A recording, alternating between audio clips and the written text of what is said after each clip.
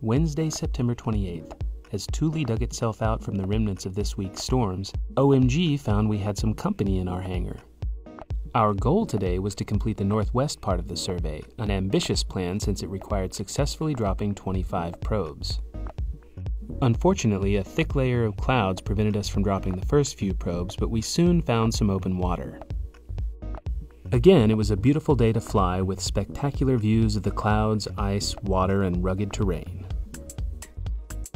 We cruised into numerous fjords, collecting measurements in front of several key glaciers, including the King Oscar Glacier shown here.